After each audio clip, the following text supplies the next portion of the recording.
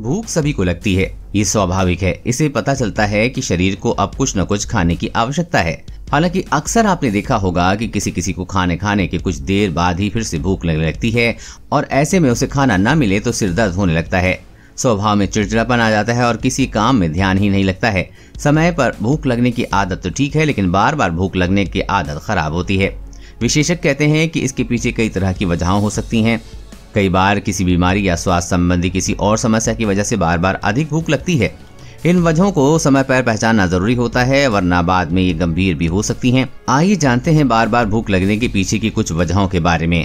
Protein की कमी से। शरीर को पर्याप्त मात्रा में प्रोटीन की बहुत ज़रूरत होती है, क्योंकि इससे भूख कम करने वाले गुण होते हैं। अगर आपके शरीर में प्रोटीन की कमी है तो आपको बार बार भूख लगने की समस्या हो सकती है। मीट, मछली, चिकन, अंडा, सोयाबीन, दाल, पनीर, दूध, ड्राई फ्रूट आदि प्रोटीन के अच्छे स्रोत माने जाते हैं। उन्हें अपनी डाइट में शामिल करें। पूरी नींद न लेने से। सेहतमंद बने रहने के लिए उचित नींद बहुत ज़रूरी होती है, लेकिन अगर आप पूरी नींद नहीं ले रहे हैं तो इससे ग्रेलिन हार्मोन्स बढ़ जाते हैं और बार बार भूख लगने लगती है।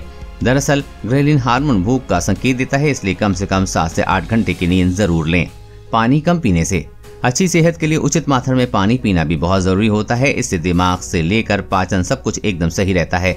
विशेषज्ञ कहते हैं कि पानी कम पीने वालों को बार बार भूख लगने की समस्या हो सकती, इसलिए रोज़ाना उचित मात्रा में पानी ज़रूर पीजें कम फाइबर वाले खाने से। शरीर में अगर फाइबर की कमी हो जाए तो जल्दी दी भूख लगने लगती है। दरअसल फाइबर में भूख को नियंत्रित करने वाले गुण होते हैं। अगर आप भरपूर मात्रा में फाइबर युक्त आहार लेते हैं तो इससे पेट लंबे समय तक भरा रह सकता है। इसलिए आप अपनी डाइट में ओट्स, अलसी के बीज, शकरकंद, संतरा और नट्स जैसी चीज़ों को ज़रूर शामिल करें।